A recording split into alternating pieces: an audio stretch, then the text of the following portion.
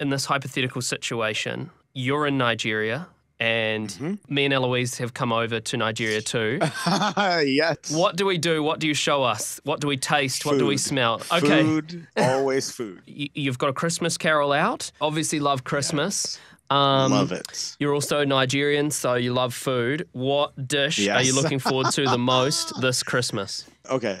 The American answer is steak, and I love desserts. But the Nigerian answer is I love jollof rice.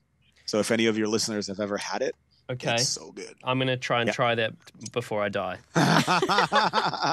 Listen, if ever I should make my way to New Zealand, which I'm positive won't be too long, I will find you some. Well, I was going to say, we've got the best steak and um, desserts because we've got the Oh. best cows in the world. You know what? I believe you. We milk those things and we eat those things, and it's I love amazing. I love it.